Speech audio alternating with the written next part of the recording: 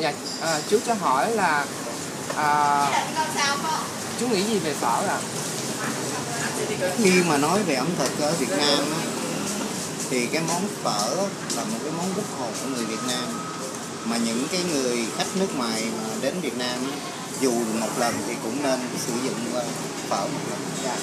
À, câu số 2 là à, chú cảm nghĩ như thế nào khi mà sau khi chú ăn phở ạ? Khi chú ăn phở. à, nó là đúng là một cái món ăn đúng như lời giới thiệu quảng bá của người Việt Nam Dạ, chú hãy nói thêm về à, quảng bá về món phở. à, người Việt Nam thường thường người ta nói rằng là cái ẩm thực Việt Nam rất là phong phú rất là nhiều từ ba miền miền Bắc miền Trung miền Nam nhưng mà riêng á, về phở á, là nó đặc trưng cho cái miền Bắc. À, nó đại diện cho miền Bắc mà cũng là một cái món ăn quốc hồn của người Việt Nam.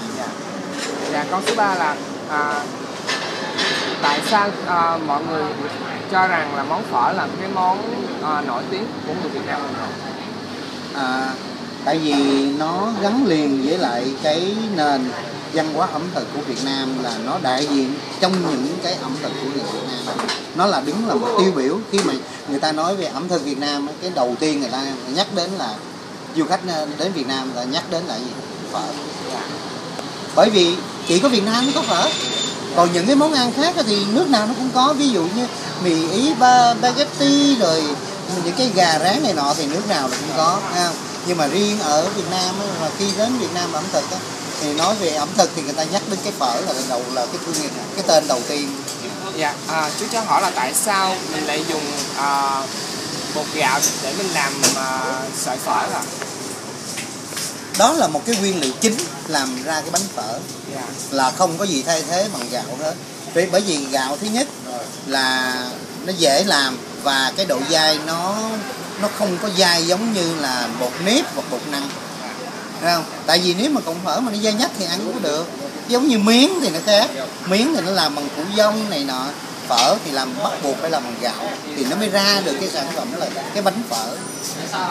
Dạ à, chú còn có à, gì để nói không ạ? à, nếu mà nói về ẩm thực á, thì đúng là ở Việt Nam này á, là nó đa đa phong cách. Cái ẩm thực đa phong cách. Nhưng mà cái điều lý thú mà nhiều người khách nước ngoài từ châu Á, châu Âu à, người ta đến Việt Nam mà khi một lần ăn phở rồi thì tất cả đều khen là very good cảm ơn chú ạ. là